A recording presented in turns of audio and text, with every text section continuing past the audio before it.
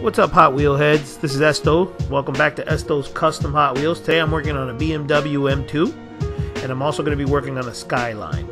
So here's our BMW M2. You've probably been seeing in the pegs in Walmart or in Target already. So I just picked this up, and I thought I'd do something pretty cool with it. I picked it up with this Rising Heat, and I wanted to use some of its parts, but didn't work out too well. I wasn't really liking it. So I ended up putting the spoiler that I cut off of my Porsche that I did in my last video. And I think this spoiler looks awesome. So we're gonna go ahead and paint this. And while we paint this bad boy, let's work on this on the Skyline 2000 GTR. So I'm gonna do something really quick with it. I'm gonna show you how I paint the details on the Skyline GT uh, GTR here, and uh, I hope you guys enjoy, and I hope you guys like this video. This color scheme was picked up by my son Josh, so shout out to Josh. Hope you like it, Josh.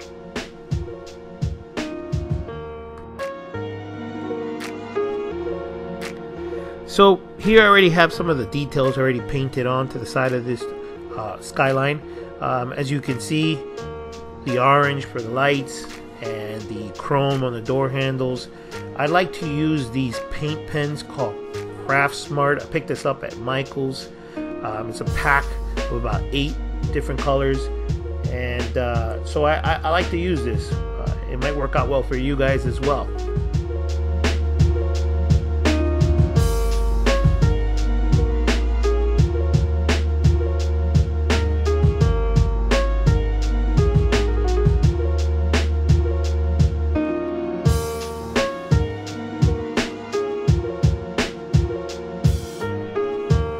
Okay, for the headlights, I keep it simple.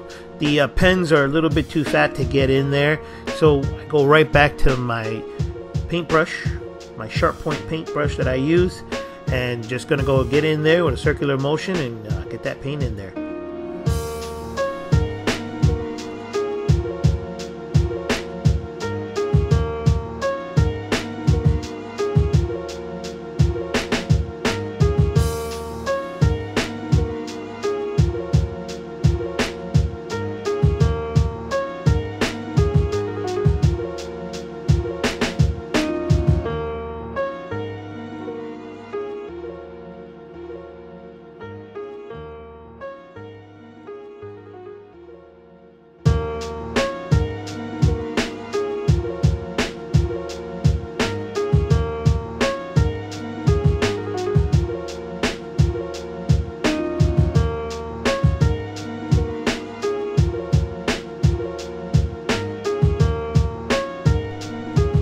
So now that we've already got our skyline painted, let's take a look at my BMW. Uh, that M2 looks really sharp. I went with that orange.